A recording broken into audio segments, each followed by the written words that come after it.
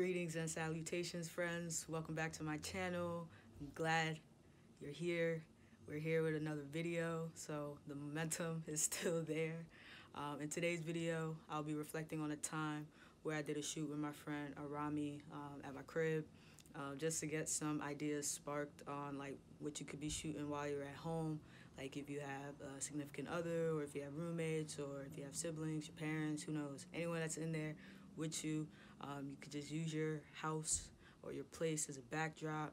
Um, so yeah, in today's video, I shot with the Fuji 200 or my Canon T70 um, and enjoy.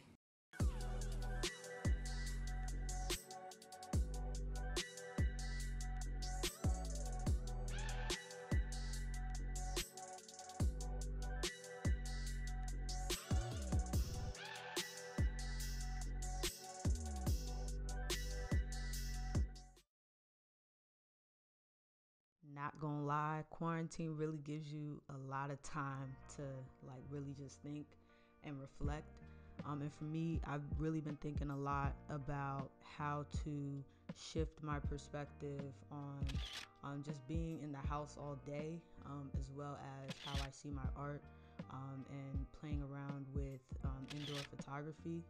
And for this photo session in particular, um, we were actually supposed to shoot outdoors, but it happened to be just really like bitter cold outside that we decided like last minute that we were just gonna shoot in the house.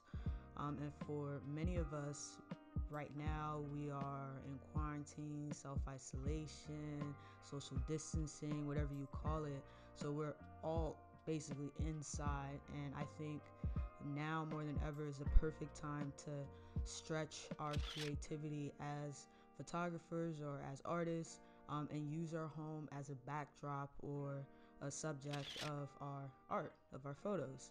Um, and perhaps seeing it outside of just being stuck in it, um, but more so documenting it as like a marker or a pointer um, in our lives during these unprecedented times. And for me, even though I'm more of an outdoor shooter, uh, I am curious to see the ways I can see my home in a different light, in a different perspective, with a new lens, you know. And really, for anyone that is listening, I just want to take this time to just encourage you to let your environment inspire you and to see it in a new light, embrace it in a new form.